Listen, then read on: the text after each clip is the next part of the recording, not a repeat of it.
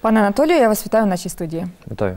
Сьогодні будемо говорити про бюджет вже цього 2023 року. Який він? Ну, якщо взяти бюджет е, саме військовий час, воєнний час, то, мабуть, я б сказав би, що він бездефіцитний, але він не для розвитку. Фактично, це збереження е, соціального направлення, заробітних плат, комунальних послуг, а також функціонування саме всіх комунальних служб, комунальних підприємств міста Запоріжжя. Затверджений був він 7 грудня.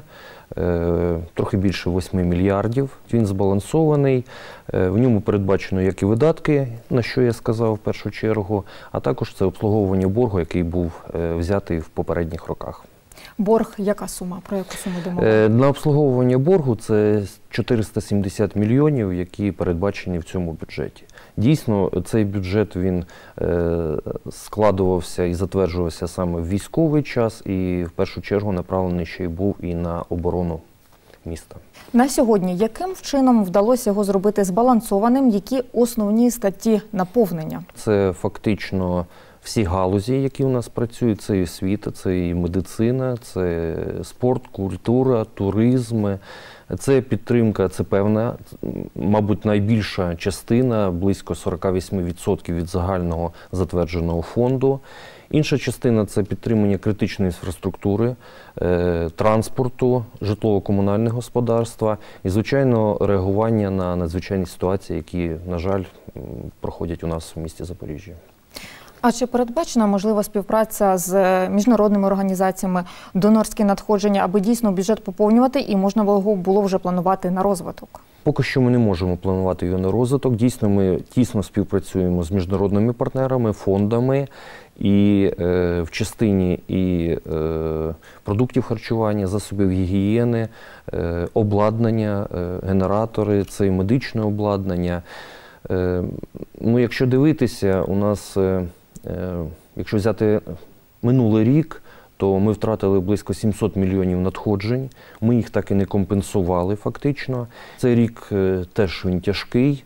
Е, На превеликий жаль, бізнес е, не розвивається. Деякий відходить від е, міста Запоріжжя, іде перереєстрація, але ну, ми ж прифронтова територія, прифронтове місце.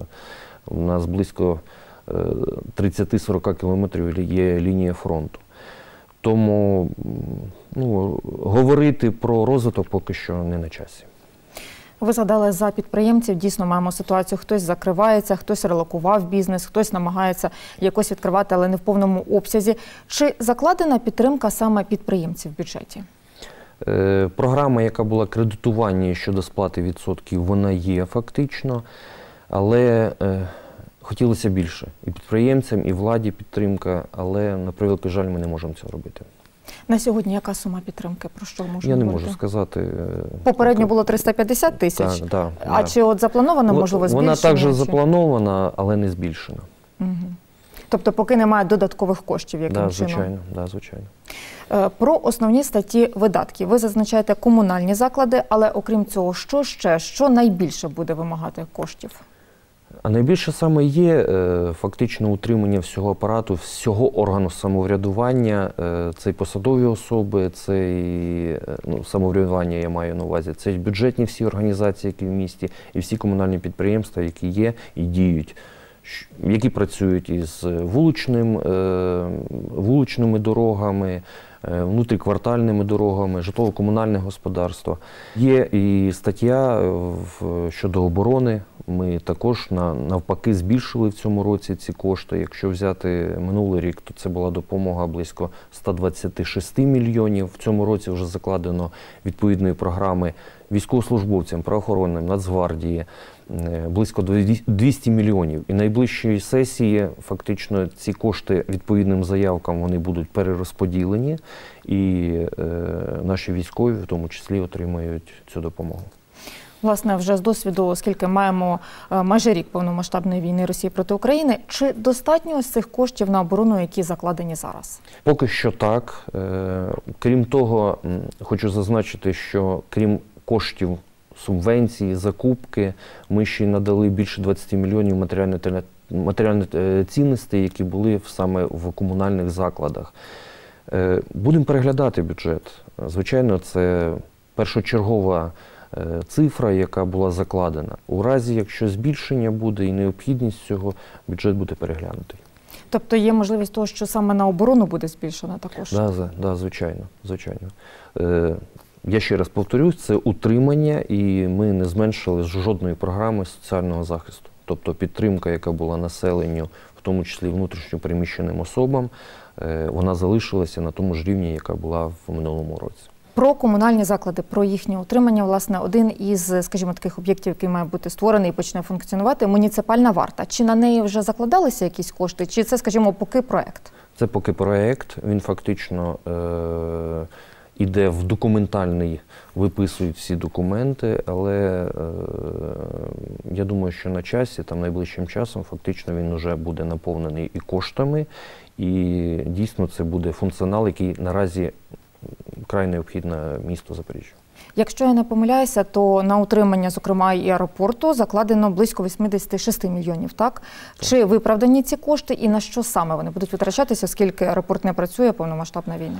Е, Аеропорт дійсно не працює на сьогоднішній день, вони в простої і е, власних коштів не мають. Але е, ми розуміємо, що будь-який час він може відновитися, і тих спеціалістів, які фактично м, зайняті на цьому підприємстві, не так легко знайти.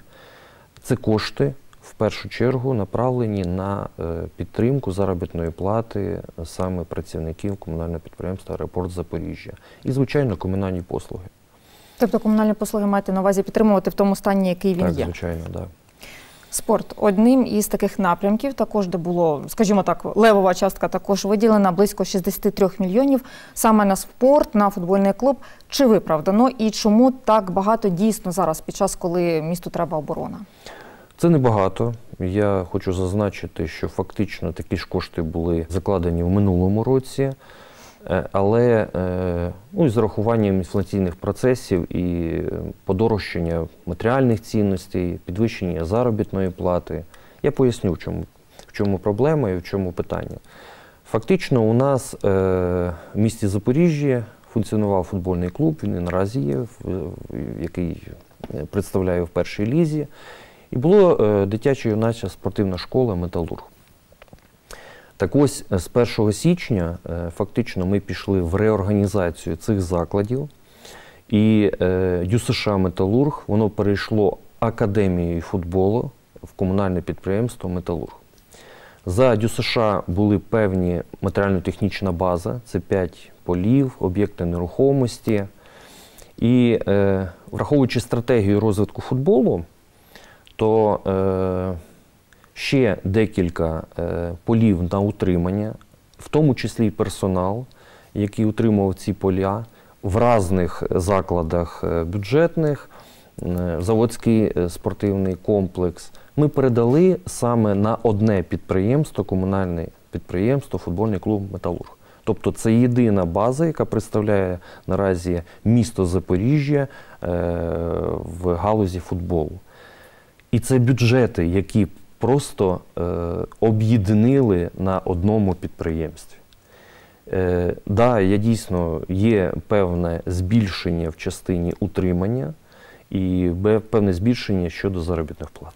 Не одне із гострих болючих запитань це допомога тим людям, тим родинам, які втратили житло або воно зруйноване і там неможливо проживати. Компенсації. На які компенсації вони можуть розраховувати? Скільки знаємо, що вже запущена програма виплат, скільки вона триватиме, і власне які далі будуть суми? З моменту повноштабного вторгнення у нас фактично всі комунальні служби виїжджають на, е, на ці прильоти. Е, і тепломережі, водоканал, і е, Запоріжнім-сервіс, е, Кобра наша в першу чергу після ДСНСників виїжджає. І саме на перших етапах надається е, допомога щодо відновлення, відновлення теплопостачання, воду, електроенергії, закриття мінімально. е, Вікон, які постраждали, е, дахів, е, це все, це все робиться, і фактично це кошти і місцевого бюджету, які були передбачені саме на відновлення. Е, Звичайно, ми залучаємо і донорів, міжнародних партнерів, які допомагають цьому. Якщо стосується матеріальної допомоги саме населенню, дійсно е, на минулій сесії депутатами прийнято було розроблено виконавчим комітетом е, дві програми, які передбачають компенсацію. Перша програма це е, з моменту е, підтвердження, з моменту руйнації будинку, там, де у нас квартири е, фактично е, непридатні для проживання, люди отримують е, по 10 тисяч щомісячної компенсації. Е, Програма буде діяти до відновлення фактично е, кожного житла. Отримує ці кошти саме власник або співвласники. Е, При цьому отримують вони не лише е, з моменту дії програми, а й е, з моменту ушкодження цього житла.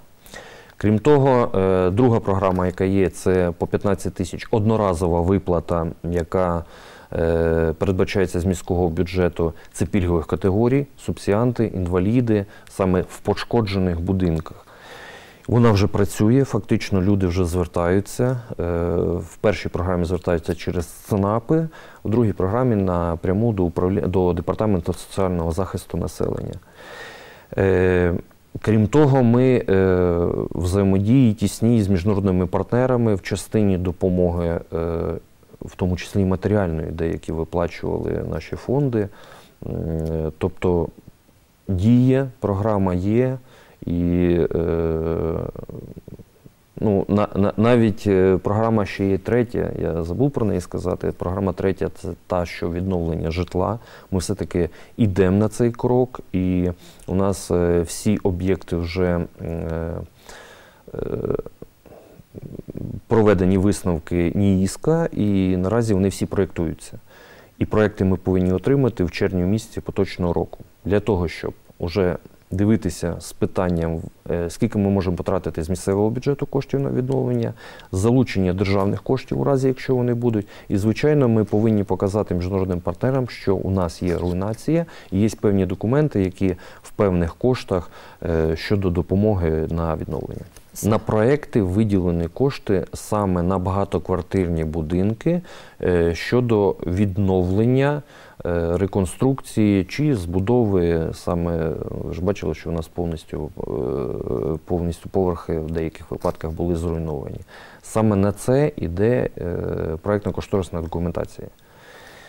Багатоквартирні чи й приватні? Багатоквартирні. А по приватним що робити По приватним е, у нас е, діє дія, яка фактично заноситься в реєстр пошкодженого майла, майна. Е, Вибачте, і е, ну, поки наразі е, програми щодо відновлення приватного сектору у нас немає. Але мешканці тих будинків приватного сектору маю на увазі, вони можуть розраховувати тоді на виплати 10 тисяч і на одноразову допомогу звичайно, 15. Да, звичайно, пошкоджені житло.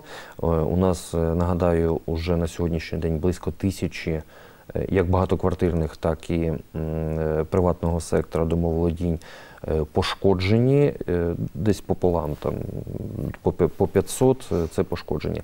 І саме відновлення йде на багатоквартирні, е, ті, які вщент розрушені повністю під'їзди. Це сім, сім у нас е, об'єктів таких, е, які підлягають відновленню. Власне, ось цієї суми 10 тисяч, оскільки 15 все-таки одноразова виплата, а 10 це та, що буде до відновлення виплачуватись. Чи достатня вона? Ми промоніторили ситуацію в інших містах е, і промоніторили ситуацію щодо оренди житла у місті Запоріжжя. Я думаю, що поки це достатня сума. У разі, якщо будуть збільшення чи, ну, не дай Бог, е, пошкодження ще, у нас з'являться, депутати готові будуть е, фактично переглянути ці програми. Е, Кошти е, повинні на найближчій сесії розглянутись саме із вільних залишків, які склалися на 1 е, січня цього року. Тобто, ну, ми готові. Поки що прорахунки спеці- спеціалісти зробили, поки що достатньо. І ми бачимо по подачі заяв, ну поки що це питання контрольоване. Скільки вже, е, скажімо так, скільки закладено на виплати, маю на увазі допомогу це 10 тисяч, 15 тисяч, і, і якщо закладено вже то по третьому проекту, де то, що ми з вами щойно проговорили, які це суми? Закладено на виплату допомоги це близько е, 45 мільйонів гривень. Вони вже будуть в бюджеті, фактично. І е, що стосується відновлення, е, близько 30 мільйонів, які йдуть на проектні роботи. За рахунок чого ось акумулюєте ці кошти, де берете, скажімо так, оскільки те, що ми з вами говоримо, що місту дійсно треба отримувати комунальні заклади, і сплачувати і заробітні плати. е, За рахунок чого зможете вивільнювати і в майбутньому вивільнювати кошти на ось ці виплати? Ну, якщо взяти загалом бюджет, який є представлений міста Запоріжжя, це е, наразі 9 мільярдів 200 мільйонів. Він складається як з офіційних трансферів, які надходять до міста Запоріжжя. Це освітня субвенція, яка йде на заробітну плату вчителям. Е, До речі, вона теж була скорочена ще з минулого року на 20%. Тобто ці 20% це близько ну, трохи більше 100 мільйонів. Ми компенсували в, е, в минулому році, і нам е, ну, ми будемо і в цьому році компенсувати. Так ось е, це надходження, фактично, які йдуть з податків. Е, Левову частку це прибутковий податок е, з громадян. Це заробітна плата, фактично, якщо простими словами сказати. Другий йде по виміру доходної частини це земля і оренда землі. Ну і інший це акцизний податок єдиний податок, які надходять саме до місцевого бюджету. Видатки на освіту складають е, близько 2 мільярдів. Ось ця сума чи не завелика, оскільки бачимо, що навчання відбувається онлайн, тобто фактично діти і учні, і власне школярі, вже студенти не присутні в навчальних закладах і вони дистанційно вчаться. Чи виправдана ось ця сума? 1 мільярд 900 мільйонів це були е, першочергові кошти, які були затверджені в бюджеті державному і фактично складувались на 7 грудня е, минулого року. Наразі бюджет е, освітянський 3,3 мільярди. Левова частина це 2,5 мільярди, це саме заробітна плата працівників. Я нагадаю, що в нашому місті 120 закладів загальної середньої освіти. 140 закладів дошкільної освіти, Е, 7 інклюзивно-ресурсних центрів, які працюють. Позашкільна освіта в кожному районі, їх у нас 17. У нас 14 тисяч е, працівників педагогічних. Саме і розраховано, якщо взяти 3,3 мільярди, 2,5 мільярди розраховані на заробітну плату. Але вона недостатня, я ще кажу. Тобто у нас десь в четвертому кварталі необхідно буде ще додати. Дистанційна форма навчання. Да, дійсно, у нас учнів немає саме офлайн в школі, але вчителі всі на місцях, вони читають дистанційно, і вони повинні отримати заробітну плату відповідно до тарифікації, яка затверджена була ще у минулому році на цей навчальний рік. Вона не забагата. Якщо взяти бюджет далі, розкладувати його, то фактично це комунальні послуги, які необхідно сплачувати. Я нагадаю, що у нас не лише освітні заклади, а вони і в минулому були територіальні інформаційні центри. Наразі вони пункти незламності. До речі, це прототип наших територіальних інформаційних центрів, які фактично постанови Кабміна наразі вся держава користується. Тобто нагрузка не лише дистанційна форма і навчання е, наших дітей. Е, До речі, у нас діти не скоротилися, у нас е, збільшення е, відбувається. У нас майже 67 тисяч дітей і 18 тисяч дошкільнят, якщо взяти. І ми за цей період більше 3,5 3700 е, дітей ВПО, вони теж навчаються в наших, в наших закладах. Знаєте, що програма була прийнята у нас у місті в частині укриттів. Е, Вони почали відновлюватися. Якщо в минулому році це було 35 мільйонів, які були саме на заклади освіти, це е, і е, поточні ремонти, це обладнання, яке необхідно відповідно до норм цивільного кодексу, а також проектні роботи. Наразі в цьому бюджеті закладено вже 25 мільйонів на ці цілі.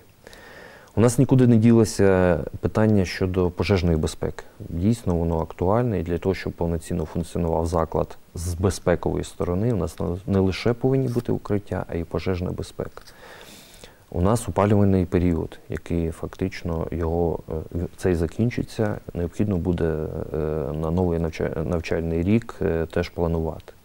І дійсно аварійні ремонти, які необхідні для того, щоб підтримувати, лише підтримувати функціонування закладів освіти.